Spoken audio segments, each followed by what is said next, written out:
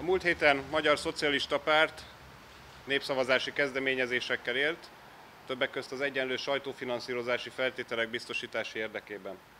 Ami tegnap a Hír TV-vel történt, az bizonyítja ennek a létjogosultságát. Azt, hogy ma Magyarországon a sajtószabadság megszűnőben van.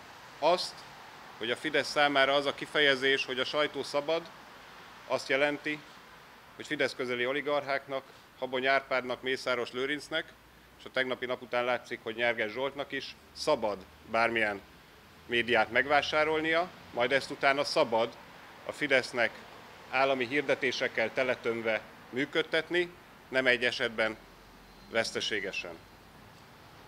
Ami ma Magyarországon a sajtóban történik, az példátlan, és ennek nem szabadna megtörténnie. Egy normális demokráciában egy sajtótermék tulajdonosa a médiáját befektetésnek tekinti, és nem fegyvernek. Nem fegyvernek egy nagyobb, korrupcióra épülő játszmában. Egyetlen egy újságíróval, egyetlen egy sajtómunkással sem szabadna megtörténnie annak, ami tegnap megtörtént. Félelemben és kiszolgáltatottságban nem lehet szabadon dolgozni, nem lehet értéket teremteni, nem lehet alkotni, és nem lehet szabadon tájékoztatni. Fideszesek tegnap azt mondták, hogy ők elégtételt éreznek.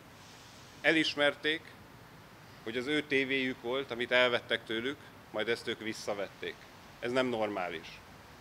Mit éreztek vajon akkor, amikor megvették ilyen-olyan pénzekből az origót, a TV2-t, amikor teletömték ezeket állami hirdetésekkel egyoldalúan, de a fő kérdés az, hogy mit éreztek azok az emberek, akiknek egyik napról a másikra elvették a szabad tájékozódás lehetőségét, megszüntették az általuk nézett tévét, tévéket, internetes portárokat, újságokat.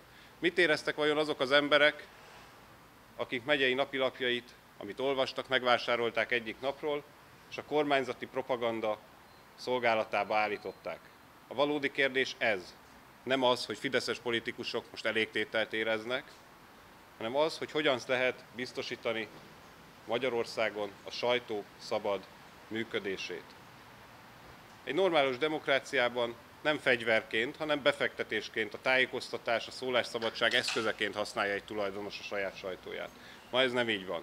Ezért is különösen aktuális a népszavazási kérdésünk, amiben azt szeretnénk elérni, és azt szolgalmazzuk, hogy az állami hirdetések, a sajtóba áramló közpénz igazságosan kerüljön elosztásra, olvasottsági, nézettségi és hallgatottsági arányokban.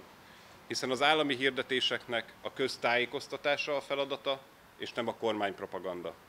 Ezt szeretnénk elérni, és ezért bízunk benne, hogy a népszavazási kérdéseink miután a választási iroda választási bizottság, illetve adott esetben a kúria által szabad utat kapnak, ezt a célt fogják szolgálni, ezért fogunk aláírásokat gyűjteni, és ezért kezdeményezzük a népszavazást.